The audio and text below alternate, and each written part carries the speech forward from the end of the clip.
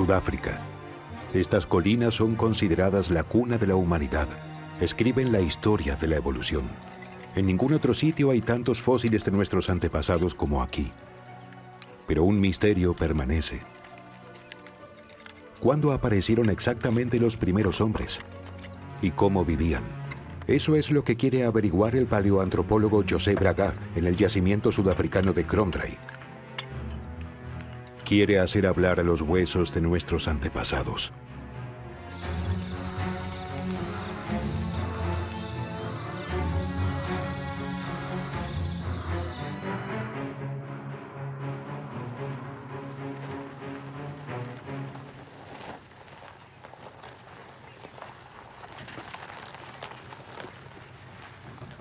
El paleoantropólogo José Braga es un referente mundial.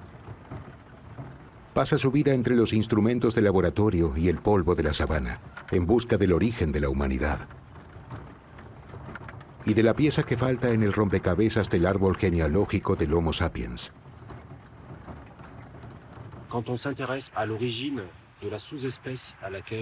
Existe el consenso de que los seres humanos que viven hoy en la Tierra tienen un origen común en África hace unos 100.000 años. Pero si nos remontamos más atrás, unos 2 millones de años, la cosa cambia. Hasta ahora no se sabe cuándo surgió exactamente el género Homo, si hace dos o más probablemente tres millones de años.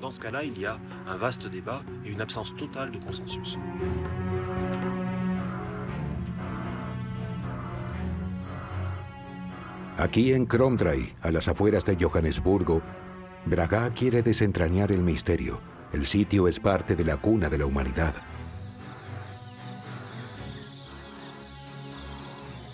Los abundantes fósiles escriben la historia de la evolución. Por eso el lugar es Patrimonio de la Humanidad por la UNESCO desde 1999.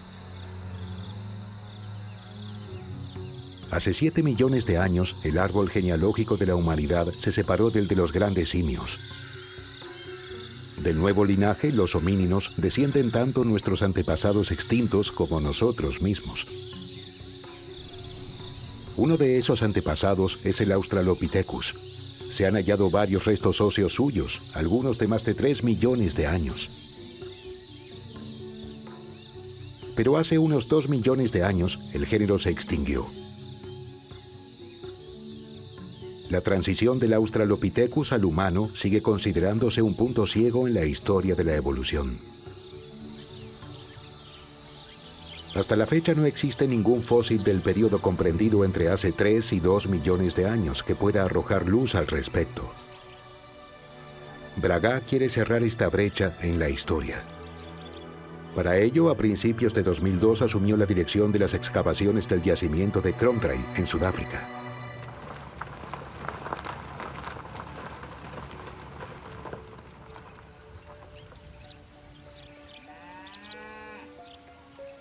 En ese entonces, la región vivía sobre todo de su fama. El último hallazgo digno de mención databa de la década de 1930.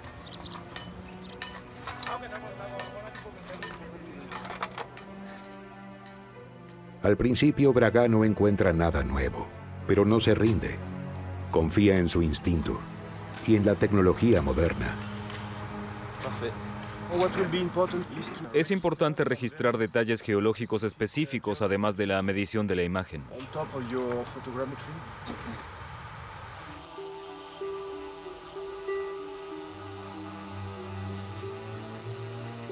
Braga cree que Kromdraai es mucho más grande de lo que se piensa. Para encontrar nuevos yacimientos recurre a la topografía 3D mediante fotogrametría aérea. Junto con un análisis químico del suelo, quiere encontrar fósiles no descubiertos hasta ahora.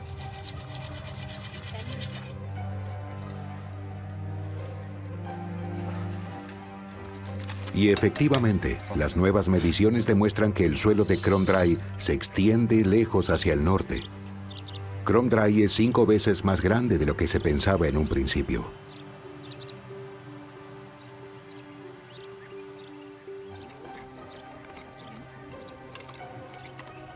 Así puede comenzar la búsqueda de tesoros fósiles en la zona no explorada. El equipo recoge numerosas muestras. Todavía nadie sospecha el alcance que tendrán los nuevos hallazgos.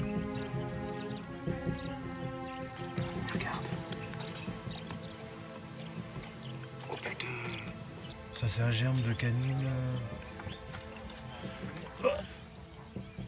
un de. Esto es un pedazo de colmillo de un primate. Hein. He llegado a la mandíbula.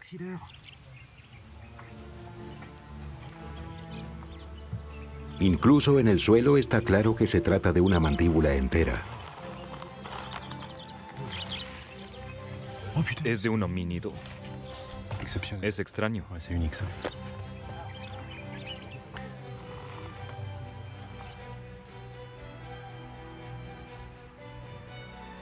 Más tarde, tras una cuidadosa limpieza, queda claro. Se trata de la mandíbula inferior de un niño conservada casi en su totalidad. Una pequeña sensación. ¿Pero perteneció a un niño humano o a un Australopithecus? ¿Acaso procede del misterioso periodo de transición entre los dos géneros? Benjamin Moreno está especializado en imagen médica. Su modelo digital de la mandíbula debería aportar respuestas. Donc José, on vient d'intégrer euh, les données Con tus datos representaremos el maxilar del niño de Cromdry, con sus gérmenes dentales. euh. Esto es extraordinario. Euh.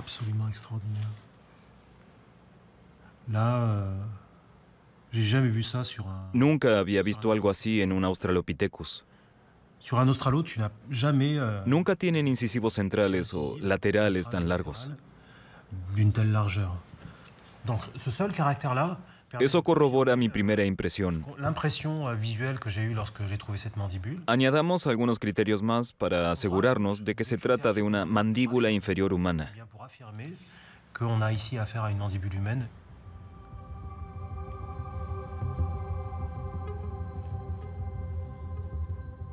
Los dientes en el interior del maxilar inferior no han cambiado desde la muerte del niño. Su forma y posición apuntan al género Homo. Pero ¿de qué etapa evolutiva exactamente?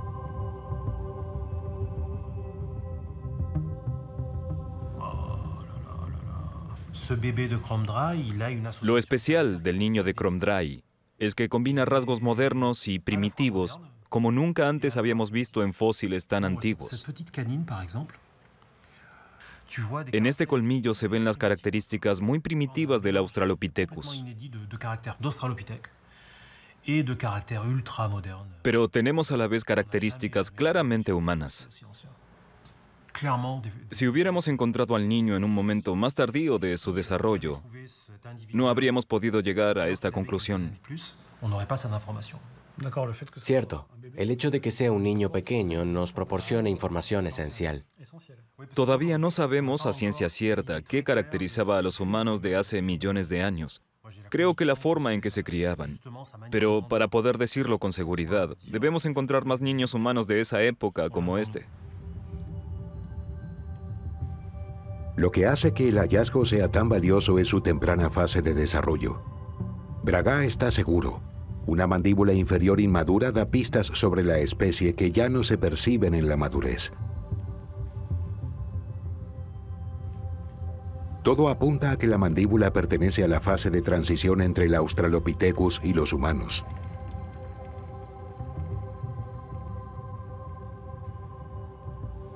Y aquí comienzan los problemas con nuestro niño de Cromdry. Algunos nos gustan, otros no. Este me encanta, pero aún así es complicado. Debemos datar el fósil, sobre todo para saber si tiene más o menos de 2 millones de años. Estoy seguro de que es más antiguo, pero eso no basta. Necesitamos la prueba.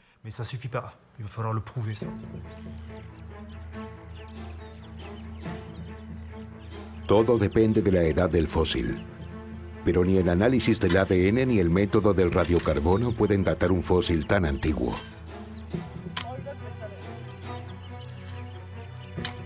Solo queda un camino, establecer la antigüedad del suelo en el que se encontró el fósil.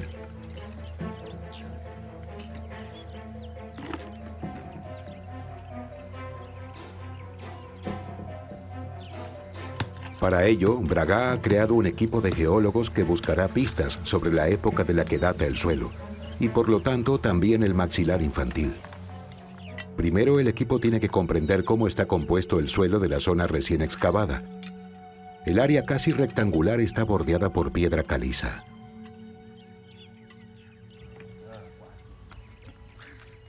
¿Crees que los bloques están erosionados? Sí, totalmente. Ben, decías que todo estaba mojado. Sí, sin duda fue por agua, pero no circulaba.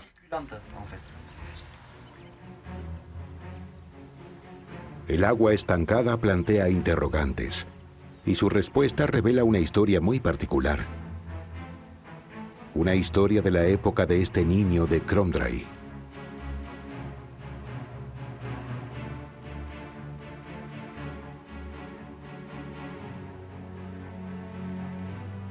El secreto yace en las cuevas de Sterkfontein, cerca de Cromdray.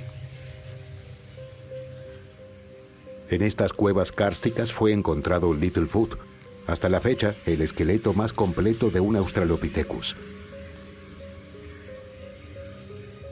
Aquella vez tardaron varios años en estimar la antigüedad del hallazgo, unos 3.7 millones de años. Loren Bruxelles dirigía entonces el equipo. Por eso conoce al dedillo este laberinto rupestre y su historia. Aquí tenemos pequeños pasadizos que trazan la formación de la cueva. Puedes ver el proceso. Estamos por debajo del nivel freático, por eso está todo sumergido. El agua gotea lentamente y va disolviendo carbonatos y magnesio. La arena y todo lo que sea fácilmente soluble se arrastra. Esto crea grutas de decenas de kilómetros de largo, verdaderos laberintos. Estos hallazgos de la cueva de Starkfontein obligan a replantearse las cosas en Crondray. Los geólogos han encontrado el mismo proceso de descomposición en las rocas de ambas cuevas. Según esto, ambos lugares están unidos bajo tierra. La abertura en la superficie debe ser un resto de pasajes colapsados.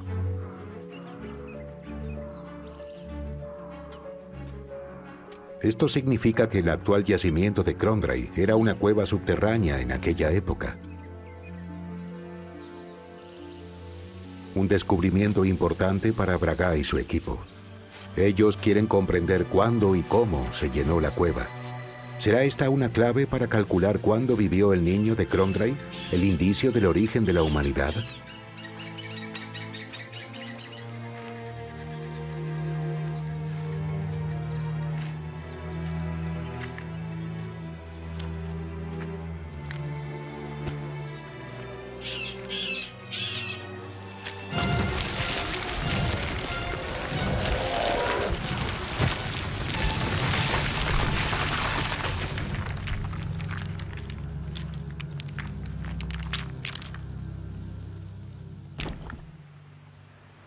Estamos en una de las grandes cámaras de Sterkfontein. Tiene aproximadamente 30 metros de largo y 20 de ancho.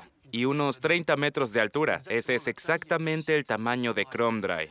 Es interesante porque esta es la cueva sin el relleno. Hoy todavía tenemos la bóveda rocosa que nos separa de la superficie. Son más de 10 metros de roca. Pero tenemos que imaginar que el techo será más delgado debido a los cambios geológicos y se abrirá en algún momento. Entonces caerán rocas, tierra, pero también animales, como los que hoy hallamos fosilizados. Se acumulará una pila de escombros cada vez mayor. Se denomina talud, como un reloj de arena. La abertura es una trampa que captura lo que había en la superficie en ese momento a lo largo de miles de años, una cápsula del tiempo de lo que ocurría entonces en el exterior. El talud, la pila de escombros crece en altura hasta que la abertura vuelve a bloquearse, por ejemplo debido a un derrumbe. Una vez cerrado el agujero, todo lo que hay debajo se fosiliza. Paralelamente, las estalagmitas crecen lentamente en la cueva. Cuando el agujero vuelve a abrirse, se forma una segunda pila de escombros sobre la anterior. En Cromdray, el antiguo techo de la cueva está completamente erosionado. El talud, donde están los fósiles, queda por tanto al descubierto. Aquí tenemos una imagen de cómo se debe haber visto Kromdraй hace 4, 5 o 6 millones de años, antes de que se abriera el techo de la cueva. A primera vista, todo parece de una sola pieza, pero las mediciones electromagnéticas demuestran que se trata de capas diferentes y que cada una data de una época distinta. Los geólogos quieren datar la capa en la que se encontró la mandíbula humana. Así es como Braga quiere descifrar la edad del niño Kromdraй.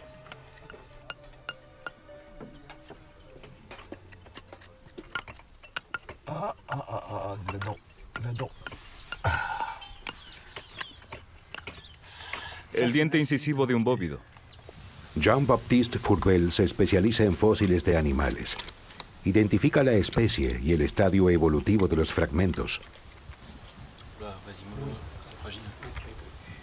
Los fragmentos óseos ayudan a datar la especie animal. Este es un fémur. ¿De qué? ¿De un bóvido? Sí. Fourvel estima que era un pequeño antílope, de la misma época que el niño de Kromdraй. Pero, ¿qué significa eso? Intento armar el rompecabezas pieza por pieza, desde la muerte de este animal hasta hoy. Estos hallazgos nos ayudan a comprender el ecosistema en el que evolucionaron los homínidos. Los fósiles del bóvido indican que se trataba de una sabana abierta o boscosa. Pero esto no permite delimitar la antigüedad de la capa del suelo, porque los antílopes actuales son muy similares a sus antepasados de hace dos millones de años.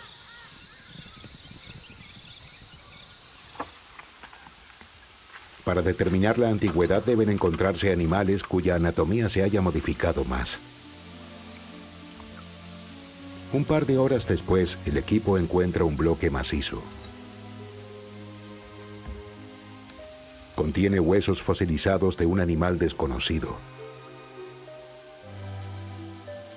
Fourvel libera la muestra cuidadosamente con un torno odontológico. Nada debe dañar el fósil.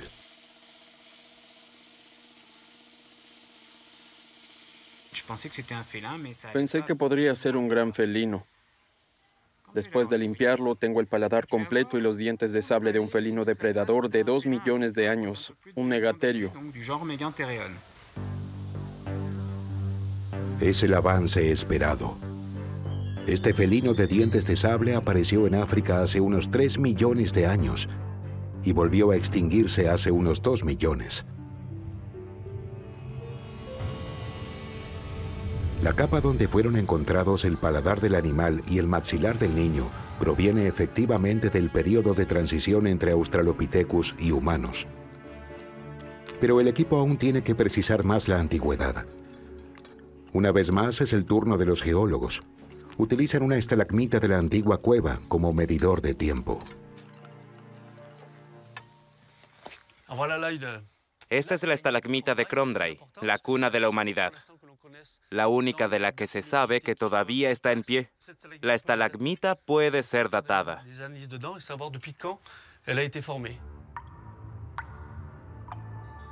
Las estalagmitas se forman por goteo.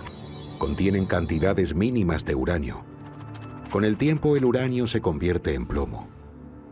La proporción de los dos elementos revela la edad de la piedra. Esta estalagmita debe tener entre 2 y 2.3 millones de años.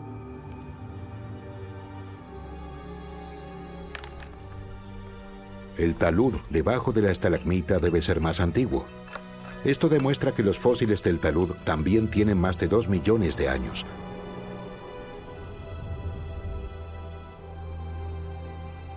Una prueba más de que la mandíbula del niño data del periodo de transición del Australopithecus al humano.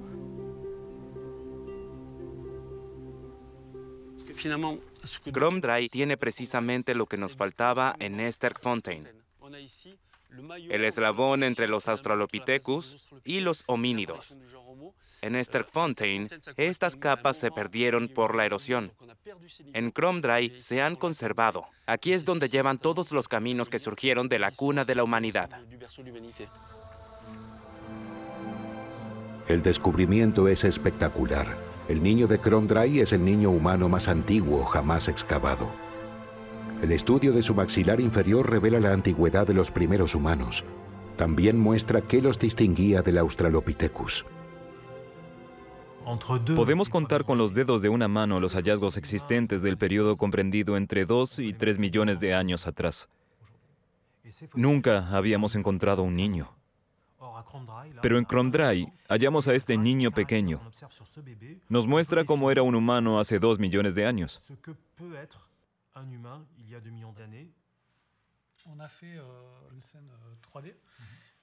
Con tus datos hemos hecho una imagen en 3D para comparar el maxilar inferior de un niño contemporáneo de dos años con el niño de Kromdraai y el niño de Tong. El icónico niño Australopithecus. El niño de Town fue descubierto en 1924 en Sudáfrica. En ese entonces, el primer y único Australopithecus. En su momento no llamó la atención, pues se pensaba que los fósiles de los niños aportaban poca información. Para Braga es de gran importancia. Ayuda a distinguir al hombre moderno de los géneros anteriores. El niño Australopithecus en rojo. El niño de Kromdraai en azul. Y así se ve hoy. Avancemos hasta la mitad del maxilar. Súper. El niño de Town realmente no tiene barbilla. Está retraída. Un mentón retraído. El niño de Kromdraai tiene un perfil bastante recto. Aquí es muy distinto. El mentón no está tan retraído como en el niño de Town. Esta área de la sínfisis es más angosta. Además de la morfología del diente, que ya se diferencia mucho de la del Australopithecus.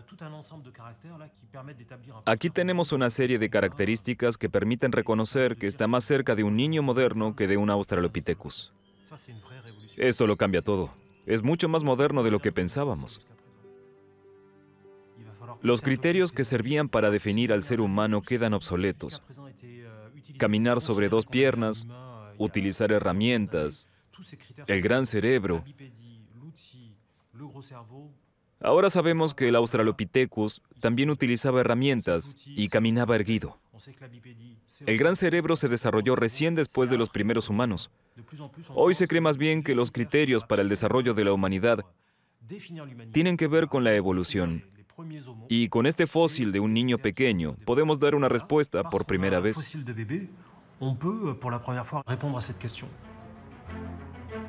Con este nuevo descubrimiento a los paleoantropólogos les queda claro que el hallazgo revolucionará su investigación.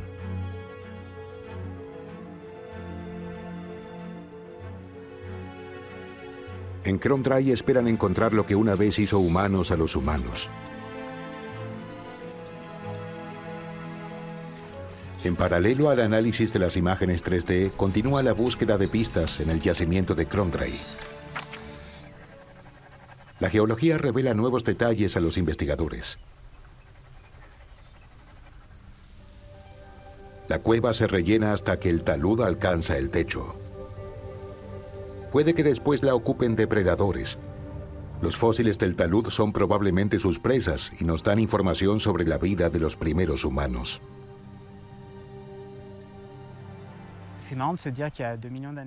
Hace dos millones de años éramos principalmente carroñeros y nos aprovechábamos de lo que los otros dejaban. A la vez éramos presas. Era fácil comernos. Por eso es emocionante encontrar los restos de nuestros antepasados que fueron presas. Esto plantea nuevos interrogantes sobre cómo nos desarrollamos y cambiamos. Para averiguar más sobre los primeros humanos, los investigadores buscan nuevos fósiles. No es suficiente comparar los maxilares del Australopithecus, del niño de Kromdraai y del humano moderno. Para reescribir la historia de la humanidad hace falta también la comparación con el Paranthropus, otro género de homíninos. Paranthropus significa al lado del hombre y es nuestro pariente cercano. Aparece más o menos al mismo tiempo que el género Homo. Se discute si es un Australopithecus o desciende de él. El primer Paranthropus fue hallado en 1938 cerca de Cromdray. Los primeros humanos y los primeros representantes del género Paranthropus se diferencian considerablemente. El Paranthropus tiene rasgos faciales espectaculares, con un aparato masticador sobredesarrollado. Era vegetariano y se especializaba en el consumo de plantas duras.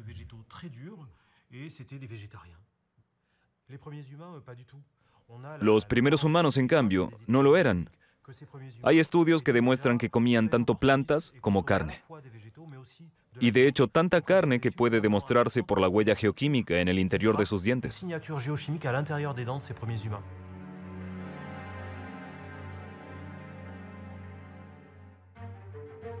Braga quiere desentrañar los orígenes de los humanos. Para ello tendría que comparar cómo evolucionaron los niños humanos y los niños Paranthropus hace más de dos millones de años.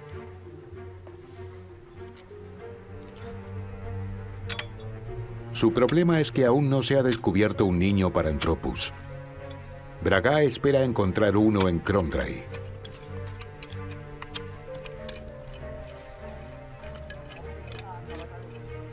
Para saber dónde excavar, trae una especialista a su equipo.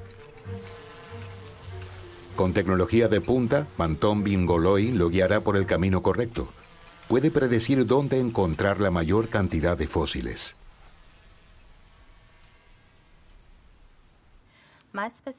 Mi área de especialización es la medición de tres dimensiones de un yacimiento. Así podemos reconocer mejor ciertos patrones. Estos de aquí son fósiles, cuyas coordenadas hemos determinado mediante un taquímetro. En rojo los bóvidos, en verde homininos. En el análisis tridimensional vemos cuatro grupos principales. Los grupos 1 y 2 contienen la mayor cantidad de fósiles.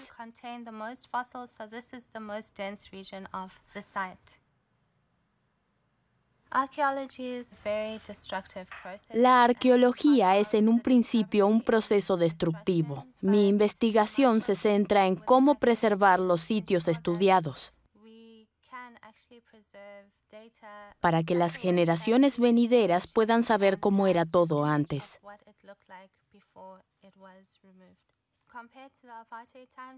Desde el apartheid hay más conciencia al respecto y la población negra está mejor representada. Yo, por ejemplo, como arqueóloga negra, soy una excepción. Pero abrimos nuestra historia a todos para poder comprenderla y conocerla mejor.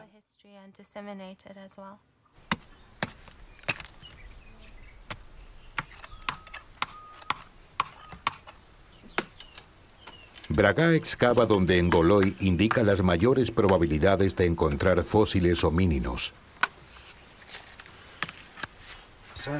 Este es un fragmento de colmillo totalmente descompuesto.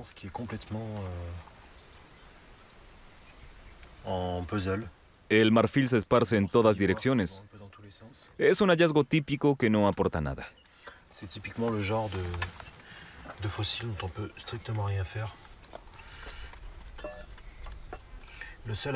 Solo nos indica el ángulo de inclinación de la capa. Eh, Benji, Benji, ven aquí. Creo que encontré un incisivo perpendicular a la capa del Paranthropus.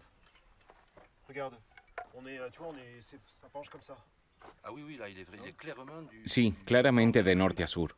Eso coincide con la hipótesis de que hay otra vía de entrada y por tanto otro origen de material. ¿Todavía más antiguo? Sí, más antiguo. Esto indica una historia mucho más larga y compleja. El colmillo de marfil es un reto. Su posición perpendicular a los otros hallazgos indica que pertenece a otro talud. Podría provenir de otra apertura en el techo de la cueva. Este talud está parcialmente cubierto por aquel que contiene a los primeros humanos y Paranthropus. Entonces es más antiguo. Pero ¿cuánto más exactamente? La tensión crece. Esta capa contiene muchos restos.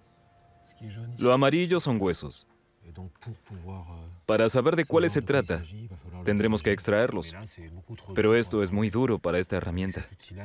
Necesitamos de otros medios.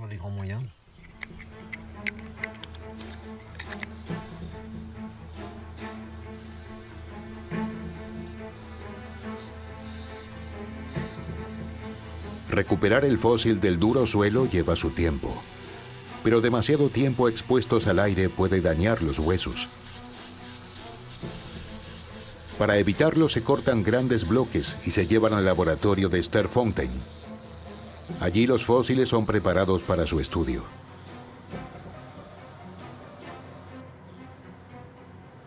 El laboratorio de Sterfontein pertenece a Ron Clark, quien descubrió a Littlefoot, no suele abrir al público su laboratorio, pero el hallazgo de Braga despierta su curiosidad.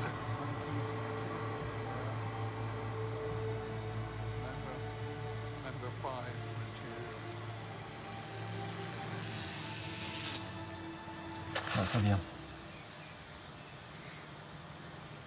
Wow, now I see. Excellent. Super. This piece este fragmento corresponde al maxilar superior derecho del ejemplar. Todavía hay que prepararlo. Es cierto. Es tuyo.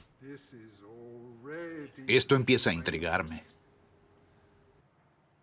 Entre nosotros, esto no parece ser de un Paranthropus. Es difícil decirlo mientras siga en la matriz. ¿Qué hay del premaxilar? No se parece al de un homo. Buscaré algo para comparar. Sí.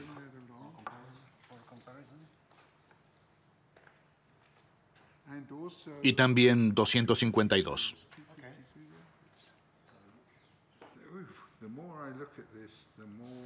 Parece uno de estos.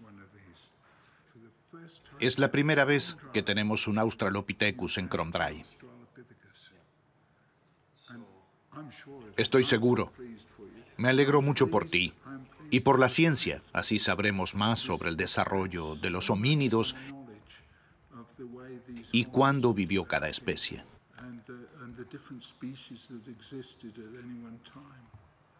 Bien hecho.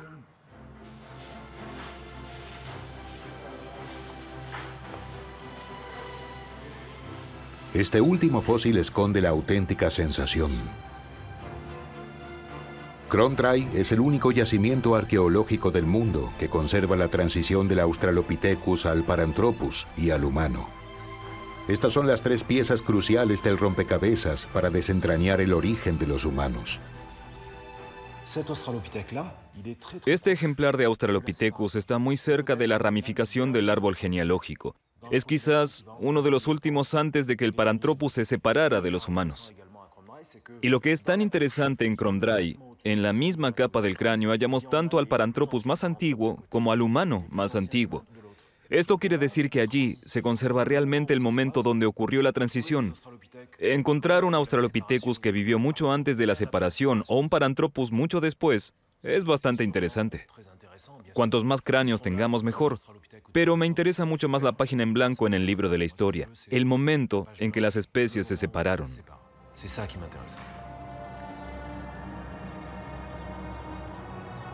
Braga sabe que asiste a un momento histórico. Aquí entramos en contacto con nuestros ancestros y a través de ellos con su descendencia. Cromdry es una máquina del tiempo. Pero a Braga le falta un elemento esencial. ¿En qué se diferenciaban exactamente los niños humanos de los Paranthropus hace dos millones de años? Está convencido de que esta es la clave para comprender el desarrollo humano. Encontrar otra cría de Paranthropus al final de las excavaciones parece poco probable. ¿Revelará Cromdry su último secreto? Mira, tengo los dientes inferiores. Otra hilera de dientes.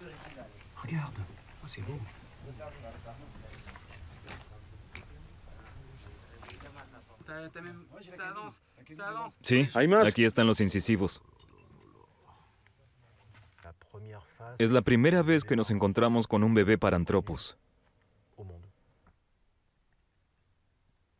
Cada vez que estoy aquí espero encontrar uno. Un niño humano o un Paranthropus.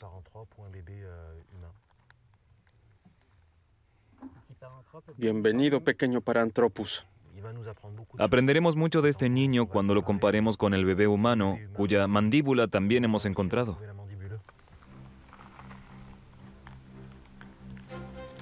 El trozo de una mandíbula corona el trabajo de Braga. Finalmente puede comparar un bebé Paranthropus con el bebé humano que encontró al principio. ¿Qué puede decirnos el bebé Paranthropus sobre la transición hacia los humanos? Este niño es la nueva estrella de la paleoantropología sudafricana. El primer cráneo infantil de Paranthropus que conocemos en todo el mundo.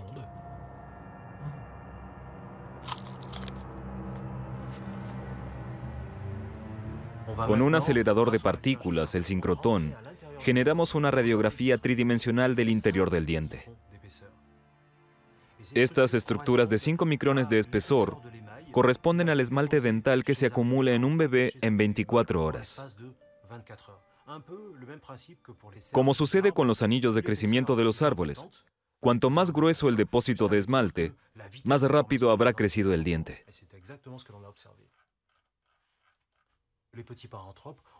Así descubrimos que los dientes de los pequeños Paranthropus crecen significativamente más rápido que los dientes de los pequeños humanos.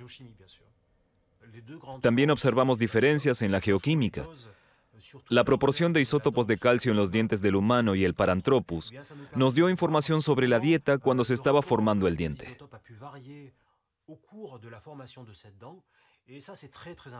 Esto se debe a que la relación isotópica cambia durante la transición de la lactancia al consumo de alimentos sólidos.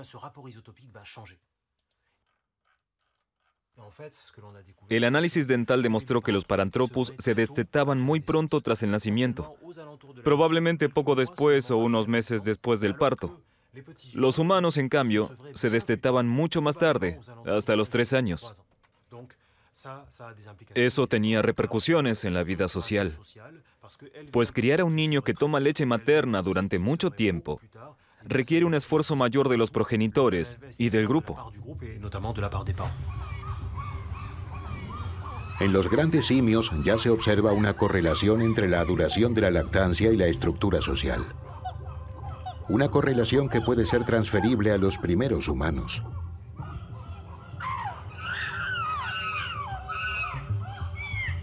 Sabrina Krief estudió el comportamiento de diversos primates en la jungla y apoya el análisis de Braga.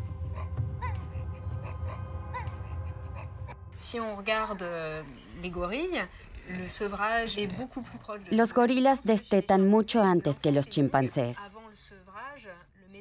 Antes del destete, el metabolismo se centra en el desarrollo del cerebro y las capacidades cognitivas.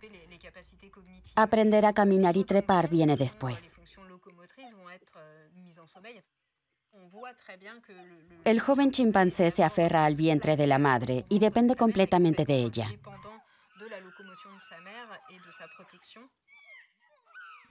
La comunidad ayuda a defender a los más pequeños.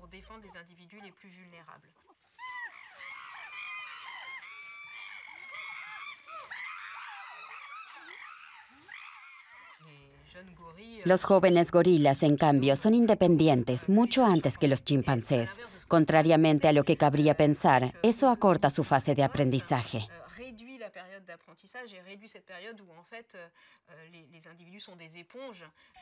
En los chimpancés vemos que una fase de aprendizaje más larga les permite empezar a utilizar herramientas. Para eso necesitan tiempo y el apoyo de los mayores. Cuando observo a los chimpancés, me siento muy próxima a ellos. Son como parte de mi familia. Si te imaginas a los primeros humanos cómo vivían juntos, es así. La mayor diferencia con los humanos es que las herramientas de los chimpancés siguen siendo las mismas hasta hoy. Transmiten su conocimiento a la generación siguiente, pero no hubo avances, no se siguieron desarrollando las herramientas. Y esa es la diferencia con el humano. Nuestra cultura siguió creciendo. Nosotros perfeccionamos paso a paso nuestras herramientas. La infancia de los humanos primitivos es entonces notablemente más larga que la de los Paranthropus.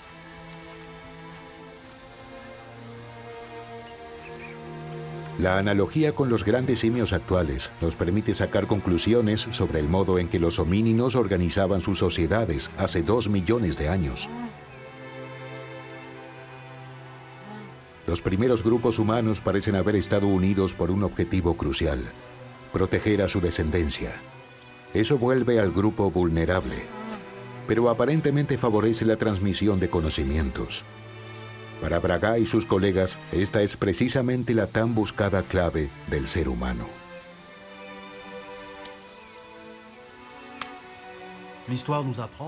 Cromdry es la prueba de que la estrategia de los humanos fue la mejor.